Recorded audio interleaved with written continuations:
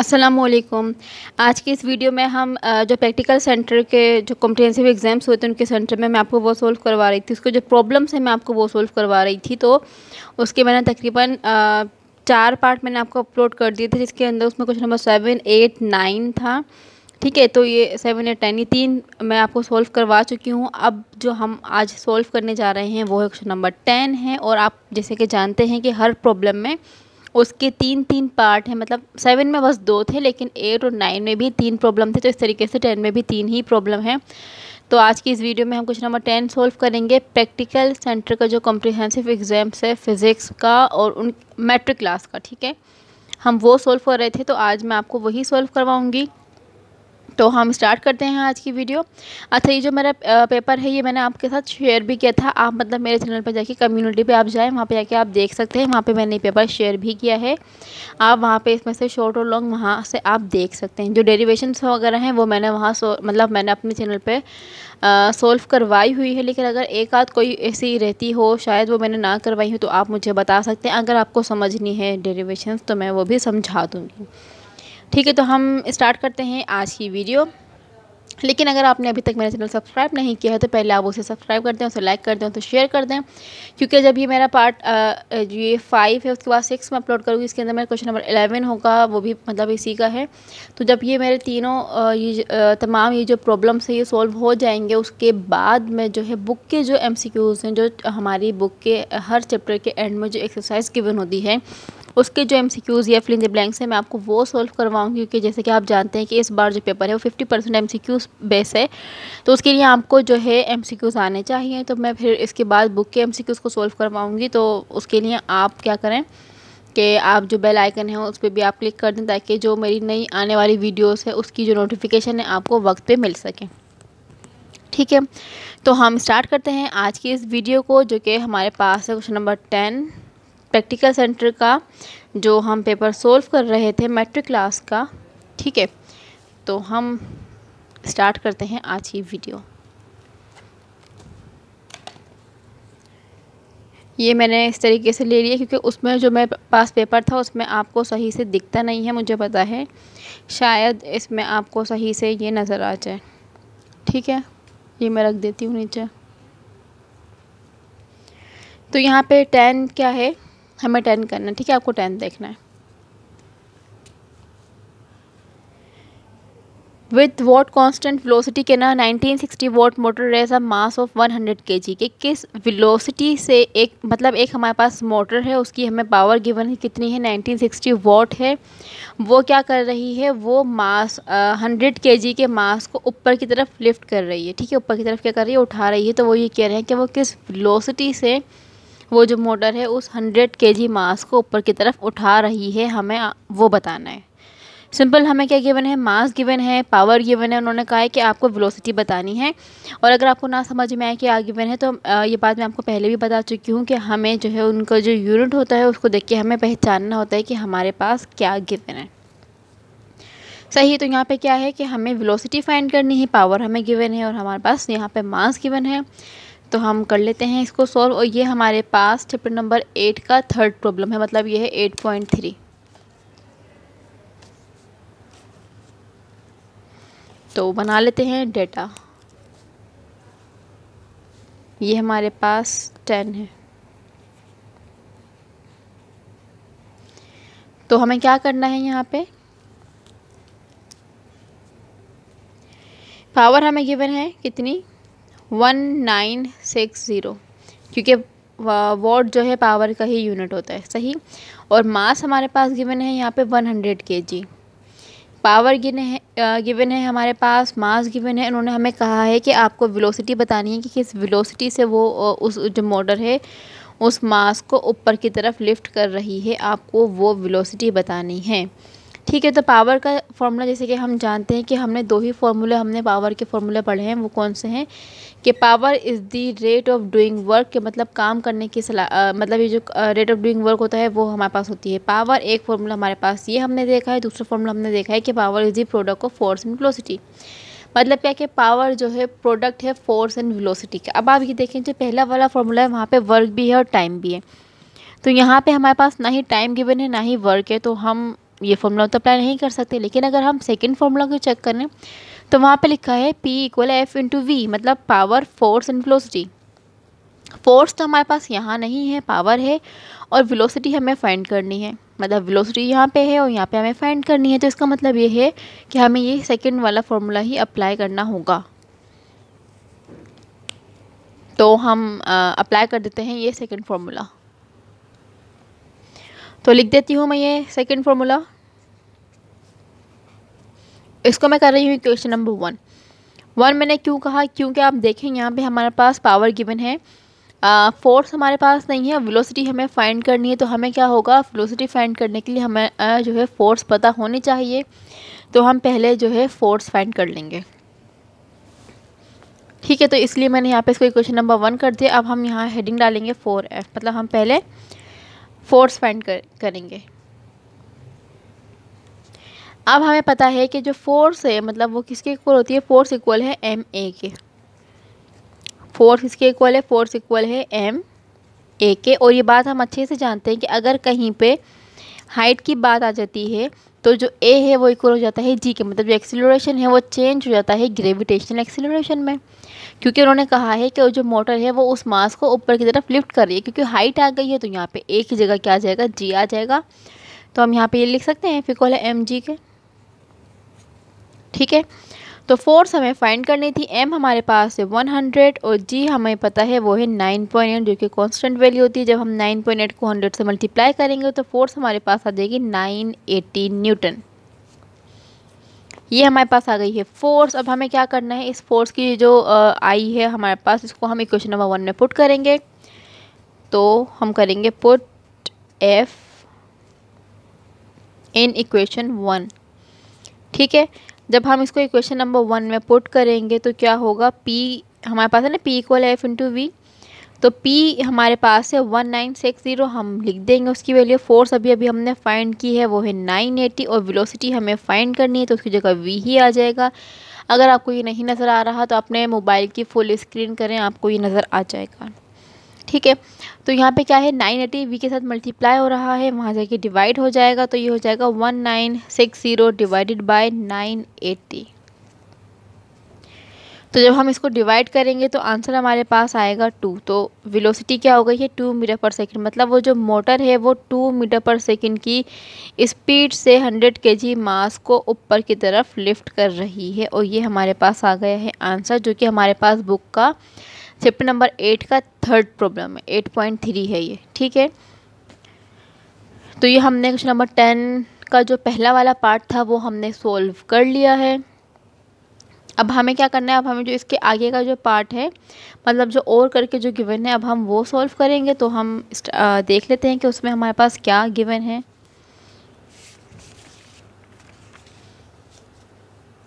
ये और करके है तो मैं यहाँ लिख देती हूँ। और। ठीक है?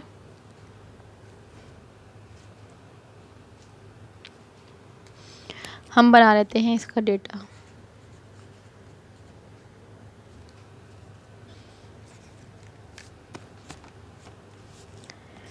तो क्या गिवन है?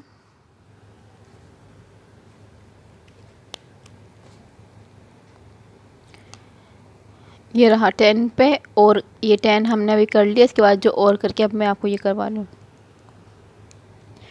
A body of mass 0.1 kg is attached to a spring and placed on a frictionless horizontal table. कि हमारे पास क्या है कि एक स्प्रिंग है, समझें आप, ये स्प्रिंग है, इसके साथ मैंने यहाँ पे एक मास को अटैच कर दिया है इसके, इस कोने पर जिसका मास जो है ज़ीरो पॉइंट वन है।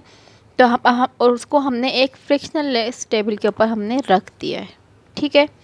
फिर उन्होंने कहा है कि a force of five newton is applied कि हमने क्या किया हमने फाइव न्यूटन की फोर्स अप्लाई की है उस पर and the spring is stretch through twenty centimetre क्या हमने क्या किया कि ये स्प्रिंग रखा हुआ था, जब हमने इसके ऊपर फाइव सेंटीमीटर की फोर्स अप्लाई की तो फोर्स अप्लाई करने की वजह से ये जो स्प्रिंग है, ये क्या होगा ये स्ट्रेच हुआ. मतलब ये खींचा. कितना स्ट्रेच हुआ? ये हुआ ट्वेंटी सेंटीमीटर तक ये अभी इतना था ना, जब मैंने फोर्स अप्लाई की तो फोर्स अप्लाई करने की वजह से ये कितना हुआ ट्वेंटी सेंटीमीटर ये स्ट्रेच मतलब ये खींचा।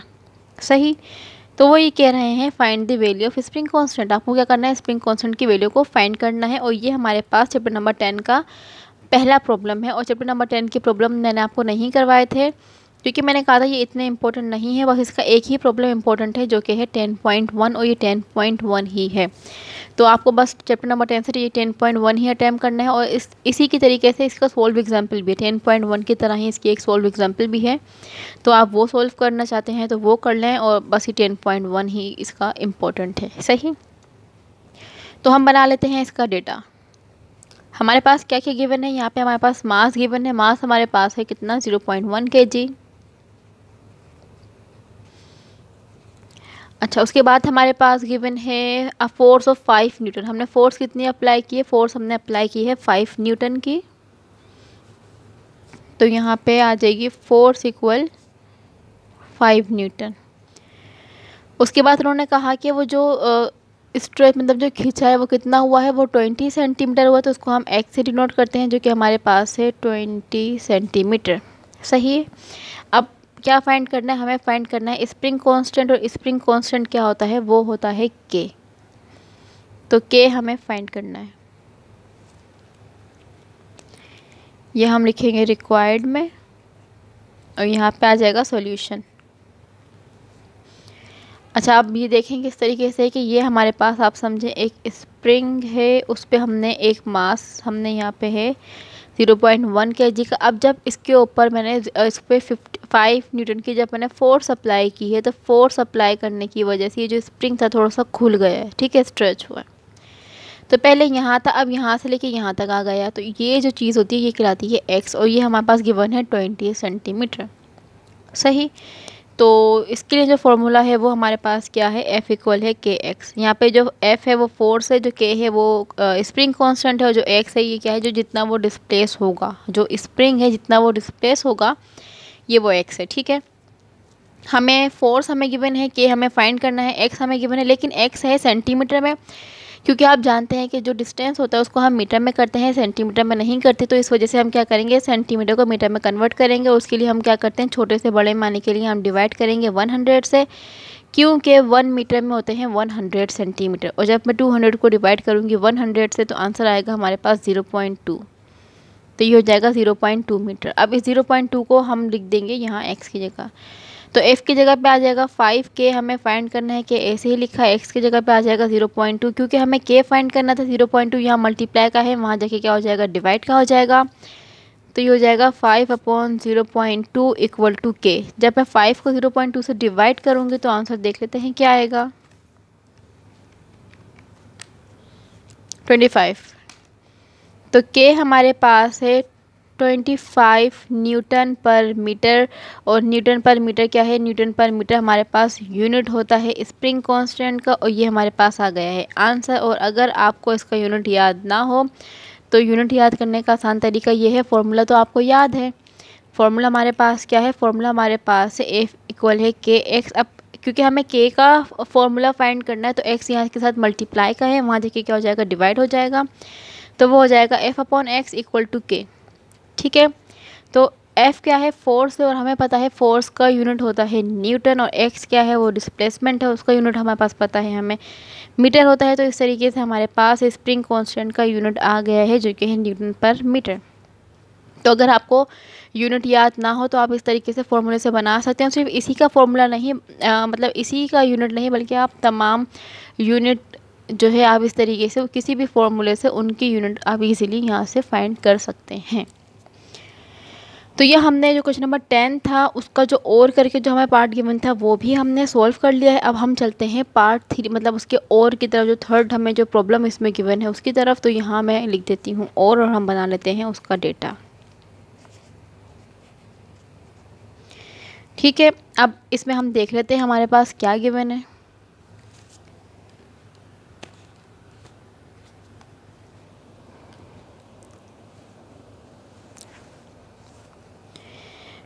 यहाँ पे हमें क्या गिवन है? और करके?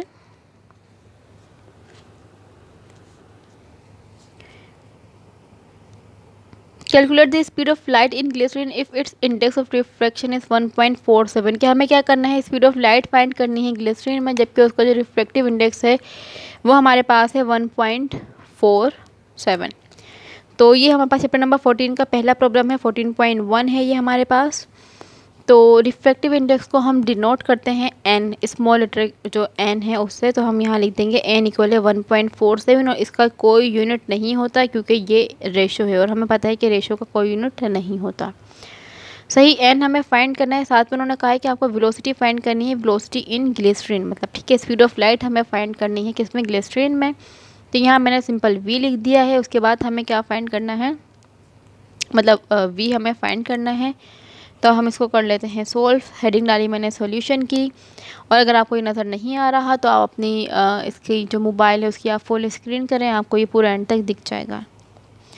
क्योंकि काफ़ी बच्चे मुझसे हर वक्त बोलते रहते हैं कि हमें नज़र नहीं आता तो आप अपने मोबाइल की फुल स्क्रीन करेंगे तो आपको नज़र आ जाएगा। ठीक है तो अब हम यहाँ पे फॉर्मूला रखें, लिखेंगे रिफ्लेक्टिव इंडेक्स क्योंकि एन से डिनोट करते हैं तो एन हमारे पास इक्वल है। Speed of light in air divided by speed of light in medium मतलब कि स्पीड ऑफ़ लाइट जो एयर में होती है, उसको हम रखेंगे ऊपर और किसी भी मीडियम की जो स्पीड ऑफ़ लाइट है, उसे हम रखेंगे नीचे।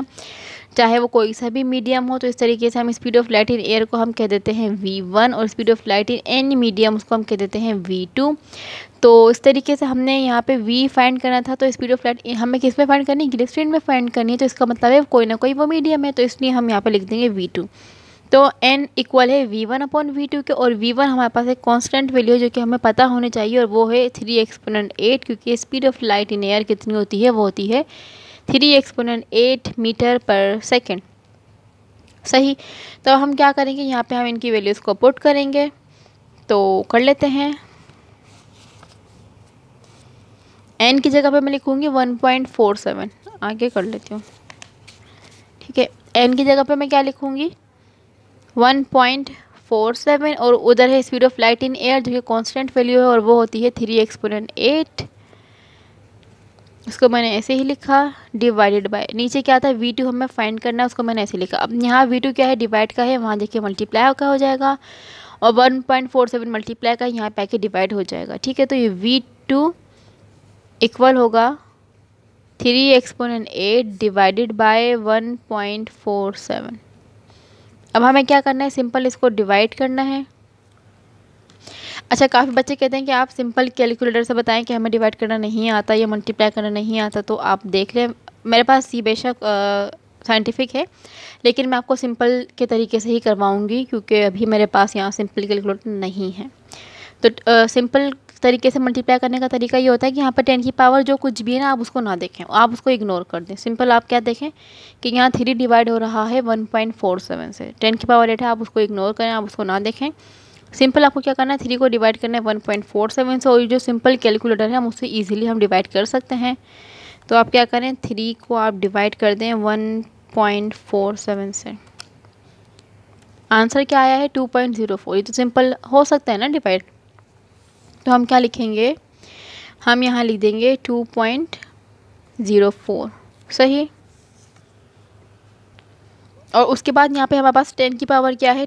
ऊपर है ना मतलब मल्टीप्लाई में थी टेन की पावर एट तो हम उसको ऐसे ही यहाँ इसके साथ लिख देंगे टेन की power eight answer metre per second मतलब जो स्पीड ऑफ़ लाइट है ग्लिसरीन में वो कितनी है? वो हमारे पास है two point zero four ten की power eight metre per second और ये मैंने आपको सिंपल कैलकुलेटर से डिवाइड करके भी दिखा दिया है। और अगर आप मतलब सिंपल से मल्टीप्लाई डिवाइड ना करना चाहें तो आप डायरेक्ट यहाँ डिवाइड कर लें। तो आपके पास यही आंसर आएगा और ये हमारे पास प्रॉब्लम चैप्टर नंबर फोर्टीन का पहला प्रॉब्लम है।